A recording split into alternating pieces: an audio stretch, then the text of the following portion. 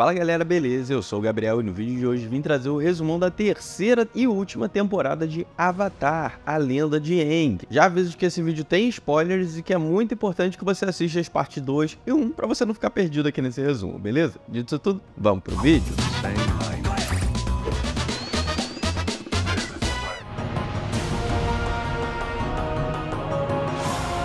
O livro 3 de Avatar, a Lenda de Aang, começa com a Nação do Fogo derrotando o Reino da Terra. A Azula conseguiu conquistar Ba Sing Se na temporada passada, e a gente vê que finalmente o Senhor do Fogo Ozai conseguiu dominar o mundo. E o Zuko, que se transformou em um dobrador de fogo muito habilidoso, voltou para casa sendo recebido como um herói. No entanto, o Zuko ele ainda tá dividido na jornada dele, porque ele sabe que a Nação do Fogo tá errada, porém ele ainda quer a aprovação e o amor do pai dele. Então ele vai visitar o tio Iro, que tá preso, ele tá se fingindo de bobo, mas de bobo ele não tem nada nada, porque ele fica ali treinando na cadeia, ficando todo shapeado. E todo mundo acha que o Avatar morreu, mas na verdade a gente sabe que ele sobreviveu. E a gente vê que o Aang tá com os amigos dele e eles sabem que eles não vão conseguir derrotar o Ozai se ele não dominar todos os elementos. Então eles decidem ir até a Nação do Fogo para conseguir um dobrador de fogo para ensinar o Aang. E no meio do caminho eles encontram vários obstáculos, como por exemplo um caçador de recompensas que tem a dobra de combustão, que basicamente explode as coisas. Aí eles conseguem se infiltrar na Nação do Fogo, basicamente o Aang tá com cabelo agora, a Katara muda o cabelo dela também. Eles vão e conseguem se filtrar. A gente vê como funciona um pouco essa ditadura opressiva que é a Nação do Fogo. E é bem interessante, eles têm os episódios ali onde eles dançam, o Eng se declara, ele joga uns verdes ali pra Katara. É bem legal essa parte de desenvolvimento dos personagens. E a equipe também teve ali suas aventuras independentes, como por exemplo o Sokka, que conseguiu que um guerreiro treinasse ele, ele também. E no final ele fez uma espada ali de uma pedra do meteoro bem legal. A Katara também teve um episódio em que ela conhece uma velhinha que se parece de boa, mas na verdade de boa ela não tem nada.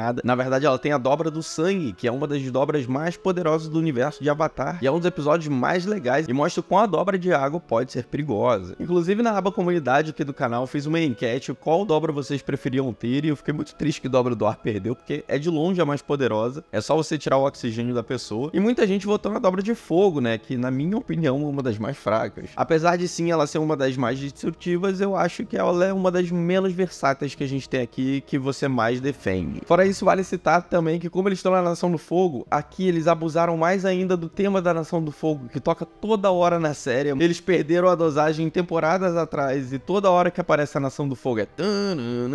É muito engraçado. E apesar dos desafios, o Eng e a galera dele conseguem achar um general para treinar ele, que no caso é o General Fong. Só que o Eng tá tendo dificuldades ali para treinar, ele já tem certos traumas com o fogo. E o Fong, ele é aquele cara durão ali, Cobra Kai, No Mercy, tá totalmente em cima do Eng. A gente vê que ele acaba mudando de mestre e ele vai justamente pro tio Iro. Sim, ele fugiu e foi ajudar o Avatar e ele ensina a dobra do fogo através da compaixão e do amor. O Aang ele treina com o Iro e o Zuko durante vários meses e agora ele tá pronto para enfrentar o Ozai e acabar de uma vez por todas com a Nação do Fogo. E é bem legal que ao mesmo tempo em que o Zuko ele sabe que o pai dele tá errado, ele tem toda uma jornada de redenção ali, onde ele treina para conseguir a dobra dele de fogo de volta. Tem um episódio com os dragões que eles fazem umas danças ali, é bem legal. O Zuko ele confronta o pai dele, mas ele não tá impressionado expulso ele da Nação do Fogo, ele vai vagando no deserto, tendo suas próprias reflexões, é bem bacana. Enquanto isso, a gente vê que a Azula, a irmã do Zuko, ela tá querendo o trono da Nação do Fogo, então ela quer matar o irmão, e ela tá totalmente louca, ela é uma das vilões mais psicóticas, mais perigosas desse universo de Avatar, é bem interessante a construção da Azula, eu gosto bastante. E a gente vê que o Cometa Sozin tá chegando, ou seja, vai dar um boost ali no poder dos Dobradores de Fogo, e o Aang tá se preparando para essa batalha para enfrentar o Ozai, e depois de 100 anos, o Cometa Sozin finalmente retorna, e a gente tem a batalha do Eng versus o Ozai. Ele usa os quatro elementos, ele faz umas armaduras e aí tem uma bolha de ar ali que vai girando todos. É muito maneiro essa animação, ele no estado Avatar também. E o Ozai realmente é formidável, muito forte, ele tá peitando o Eng até o momento em que o Eng usa a dobra da Tartaruga Leão e tira o poder de dobra do Ozai. Primeiro ele dá um alerta, fala, mano, fica suave aí. Aí ele não ficou de boa. O Ozai quis atacar, ele pega ali pelo cavanhaque tira a dobra dele. É uma cena sensacional. Enquanto isso, a Katara e o Zuko estão enfrentando a Azula e é uma luta formidável, mas a Azula é derrotada pela Katara, maravilhosa essa luta. Tem também o Sokka e a Toph lá nos dirigíveis, tudo pegando fogo, a Toph dobrando metal, fazendo uma armadura também. É irado, é muito maneiro essa temporada. Comenta aí qual é o seu momento favorito. E claro, também teve as forças da Ordem da Lotus Branco, comandadas ali pelo tio Iro. Sim, ele faz parte de uma sociedade secreta nesse universo de Avatar com vários dobradores excelentes, incluindo o Bumi, e ele ajuda a rechaçar ali as tropas da Nação do Fogo enquanto todo esse combate está acontecendo. E a guerra termina com Zuko se tornando o novo Senhor do Fogo e ele promete trazer paz ao mundo e uma nova era de cooperação entre as nações. E assim termina Avatar a Lenda de Aang com a paz reinando, o Aang terminando junto com a Katara e a gente vê a continuação desse universo no filme que vai lançar, se eu não me engano, ainda nesse ano de 2024 com a galera mais crescida e também em Avatar a Lenda de Korra que eu vou trazer resumo aqui no Maratonando. Então por isso que eu sempre peço para você se inscrever aqui no Maratonando, ajuda o canal, estamos precisando aí de um ar-condicionado novo. E também porque eu vou trazer mais conteúdo desse universo de Avatar, a Lenda de Aang, é um universo maravilhoso, muito bem construído. Como comentei aqui nos resumos, não fez muito parte da minha infância, mas fez parte de um momento da minha vida que eu precisei assistir Avatar e me ajudou bastante. E eu tô ansioso para esse filme que vai ter com a galera mais crescida, então a gente tem muito para falar sobre ainda, beleza? Obrigado aí por você que acompanhou os resumos e eu vou ficando por aqui. Até o próximo vídeo, valeu!